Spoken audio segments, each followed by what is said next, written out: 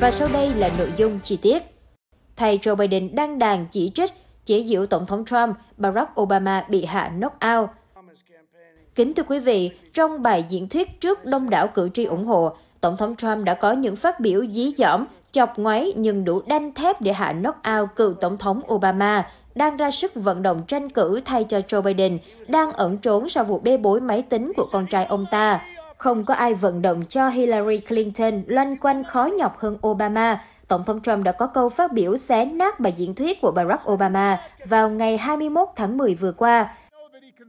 Khi cựu tổng thống da màu trước đó đã vận động tranh cử thay cho Joe Biden, người đã không còn xuất hiện trong các cuộc vận động kể từ khi vụ bê bối máy tính sách tay của con trai ông ta bùng nổ vào tuần trước. Barack Obama xuất hiện ở Philadelphia và có bài thuyết trình dài để chỉ trích chế nhạo Tổng thống Trump từ tính cách cho đến năng lực. Ông ta gọi Tổng thống Trump là một kẻ điên rồ và cáo buộc Tổng thống nói dối mỗi ngày. Ông Obama cũng công kích Tổng thống Trump về phản ứng với đại dịch virus corona Vũ Hán và nói rằng chúng tôi đã để lại cho Bạch Ốc một cuốn hướng dẫn đại dịch theo đúng nghĩa, nhưng có lẽ họ đã không sử dụng nó. Tôi không biết nữa, chắc để kê cái chân bàn lung lay ở đâu đó. Ông Obama khép lại bài phát biểu với lời kêu gọi, quý vị đã phấn khích chưa? Quý vị đã sẵn sàng chưa? Mọi người đã phấn khích chưa? Mọi người đã sẵn sàng chưa? Đáp lại là tiếng còi xe bóp in ỏi hưởng ứng, hãy biến thành hiện thực, cựu tổng thống kết thúc. Tổng thống Trump đã đáp trả Barack Obama trong một cuộc vận động tranh cử ở Bắc Carolina khi ông nói trước đám đông khổng lồ những người ủng hộ rằng các bạn biết Obama hiện đang vận động tranh cử. Ồ, chúng ta hãy bắt đầu. Gọi đích danh tên đầy đủ của vị cựu tổng thống da màu là Barack Hussein Obama.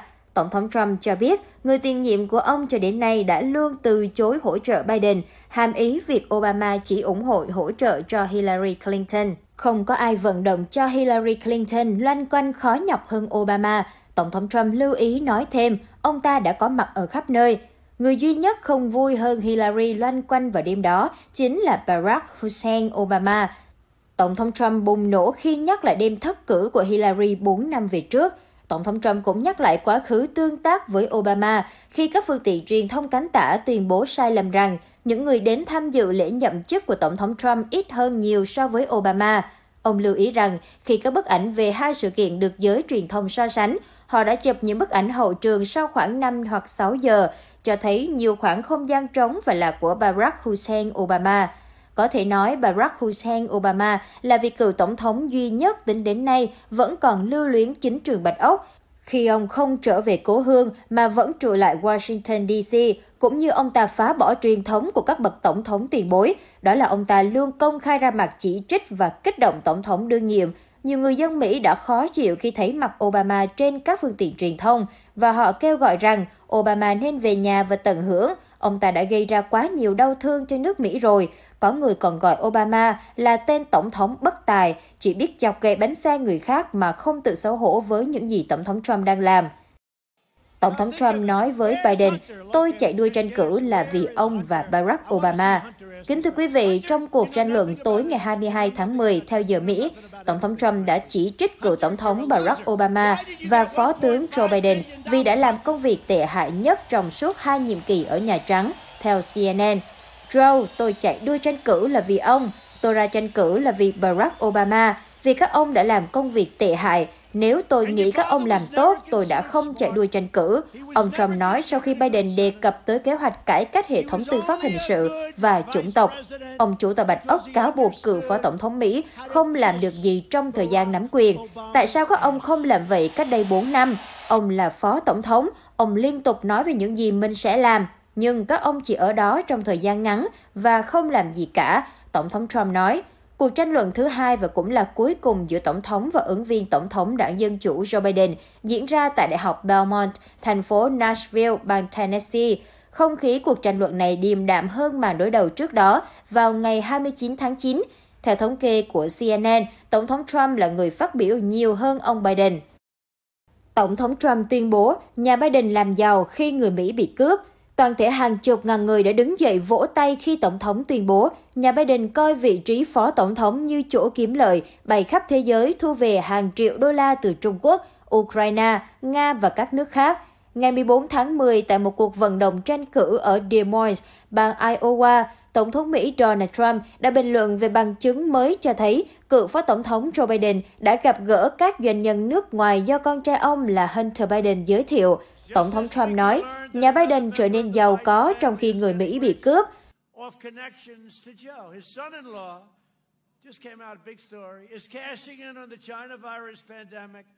Just like Hunter. Where's Hunter?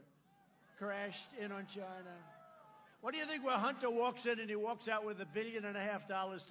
Tổng thống đề cập đến bài báo trên tờ New York Post đưa tin về các email được gửi cho Hunter Biden từ Vadim Pozarsky, một cố vấn của công ty năng lượng khí đốt Burisma của Ukraine.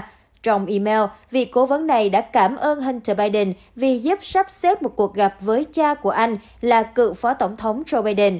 Là thành viên của hội đồng quản trị của tập đoàn khí đốt Burisma, Hunter Biden nhận được mức lương là 50.000 đến 83.000 USD hàng tháng. Tổng thống Trump nói, nhà Biden coi vị trí phó tổng thống như chỗ kiếm lợi, bay khắp thế giới và thu về hàng triệu đô la từ Trung Quốc, Ukraine, Nga và các nước khác. Tổng thống Trump cũng đề cập đến một báo cáo của Thượng viện, trong đó tiết lộ rằng vợ của thị trưởng Moscow đã viết cho Hunter một tấm séc trị giá 3,5 triệu USD còn cha anh ta đã tặng cho Nga nhiều thứ bao gồm cả bán đảo Crimea. Tổng thống Trump nói, khi nói đến bán đảo Crimea, ông ám chỉ việc chính quyền của cựu Tổng thống Barack Obama làm ngơ khi Tổng thống Nga Vladimir Putin sát nhập bán đảo Crimea này vào năm 2014. Tổng thống Trump nhấn mạnh rằng các chính trị gia như Joe Biden khiến cho đất nước này bị vắt kiệt. Ông cũng đề cập đến các báo cáo liên quan đến công ty xây dựng của James Biden là anh trai của ông Joe Biden. Công ty này đã nhận được một hợp đồng xây dựng trị giá hơn 1 tỷ USD ở Iraq. Hãy nhìn vào cả gia đình đó, đó là một gia đình tham nhũng. Joe Biden là một kẻ theo chủ nghĩa toàn cầu ích kỷ và tham nhũng, có nhiều tiền và quyền dựa trên mồ hôi và nước mắt của các bạn. Tổng thống Trump nói thêm, Hiện tại, Hunter Biden đang đối mặt với cuộc điều tra của Ủy ban An ninh Nội địa Thượng viện Hoa Kỳ. Thượng nghị sĩ Ron Johnson, Chủ tịch của Ủy ban An ninh Nội địa và các vấn đề chính phủ của Thượng viện, nói với Fox News rằng Ủy ban đã liên hệ với bên cung cấp email trao đổi giữa giám đốc điều hành của tập đoàn khí đốt Burisma của Ukraine và con trai của ứng cử viên tổng thống Joe Biden là Hunter Biden. Chuyển có một phần tin tức khác, Joe Biden chi tiền cho quảng cáo nhiều nhất trong lịch sử bầu cử Mỹ. Chiến dịch tranh cử của cựu Phó Tổng thống Joe Biden đã chi nhiều tiền cho quảng cáo truyền hình và kỹ thuật số hơn bất kỳ ứng cử viên tổng thống nào khác trong lịch sử Hoa Kỳ, theo bản tin hôm thứ Sáu, ngày 23 tháng 10 của The Hill. Theo dữ liệu từ công ty phi đảng phái Advertising Analytics, chiến dịch của Biden đã chi hơn 582 triệu đô la cho quảng cáo truyền hình kể từ khi ứng viên đảng Dân Chủ khởi động cuộc đua tới vị trí tòa Bạch Ốc vào năm ngoái. Chỉ trong tuần trước, nhóm của Biden đã chi 45 triệu đô la để phát sóng các chương trình quảng cáo cho cựu phó của Obama. Con số này vượt qua số tiền mà cựu thị trưởng thành phố New York, tỷ phú Michael Bloomberg đã bỏ ra để giành phiếu trong cuộc bầu cử sơ bộ chọn ứng viên của đảng Dân Chủ vào đầu năm nay. Số tiền đầu tư để lấy lòng cử tri của ông Biden cũng vượt qua Tổng thống Trump, người đã chi 342 triệu đô la cho truyền thông trong hai năm qua, theo Advertising Analytics. Chiến dịch của Biden đã chuẩn bị thêm 57 triệu đô la cho quảng cáo truyền hình trong 10 ngày nước rút trước cột mốc ngày 3 tháng 11. Trong khi đó, chiến dịch tranh cử của Trump và các nhóm bên ngoài ủng hộ ông có khoảng 50 triệu USD tiền quảng cáo cho khoảng thời gian quan trọng này. Hai bên đã chi hết 160 triệu đô la cho quảng cáo truyền hình và kỹ thuật số chỉ trong 7 ngày qua. Dữ liệu cho thấy Trump đã chi nhiều hơn Biden cho quảng cáo trên Facebook và Google, 14 triệu USD so với khoảng 12,7 triệu USD. Joe Biden và các đồng minh của họ đã chạy hơn 100.000 quảng cáo mỗi tuần kể từ đầu tháng 10. Theo số liệu của dự án truyền thông Wesleyan, họ đã phát sóng nhiều quảng cáo nhất ở các thị trường truyền thông Phoenix, Charlotte, NC và Des Moines, Iowa. 54 nhà khoa học Mỹ bị mất việc do có mối liên hệ với Trung Quốc. Viện Y tế Quốc gia viết tắt là NIH đang điều tra nhiều nhà nghiên cứu do không công khai về những mối liên hệ với nước ngoài đã khiến 54 nhà khoa học mất việc. Cuộc điều tra của NIH đã điều tra 189 nhà khoa học về các mối quan hệ với nước ngoài mà không công khai, với 93% nguồn tài trợ ẩn đến từ Trung Quốc, khoảng 77 người đã bị loại ra khỏi hệ thống NIH do kết quả của cuộc điều tra. Thông tin được tiết lộ vào ngày 12 tháng 6 trong bài thuyết trình của ông Michael Lauer, Phó Giám đốc NIH, phụ trách mảng nghiên cứu ngoại khóa, Nỗ lực điều tra của NIH bắt đầu từ tháng 8 năm 2018 khi tổ chức này cảnh báo các trường đại học trên toàn nước Mỹ rằng một số thực thể nước ngoài nhắm mục tiêu một cách có hệ thống vào các nhà nghiên cứu của NIH nhằm đánh cắp sở hữu trí tuệ và có được thông tin bí mật. Nỗ lực của NIH là một phần trong chiến dịch lớn hơn của chính phủ Hoa Kỳ nhằm chống lại sự xâm nhập của Đảng Cộng sản Trung Quốc vào giới học thuật Mỹ. Bộ Tư pháp và FBI đã bắt giữ một số trường hợp liên quan đến các nhà nghiên cứu trong chiến dịch sáng kiến Trung Quốc của chính phủ Hoa Kỳ được triển khai vào tháng 11 năm 2018. Tại thời điểm điều tra, khoảng 143 nhà khoa học ở 27 tiểu bang có các khoản tài trợ trị giá 164 triệu đô la. Hơn 80% những người này là châu Á, cho thấy rõ mục tiêu của Đảng Cộng sản Trung Quốc là nhắm vào các nhà nghiên cứu Trung Quốc. Đảng Cộng sản Trung Quốc ráo riết tuyển dụng các nhà nghiên cứu nước ngoài theo chương trình ngàn nhân tài vốn bị chính phủ Hoa Kỳ coi là vỏ bọc để chiếm tài sản trí tuệ của Hoa Kỳ.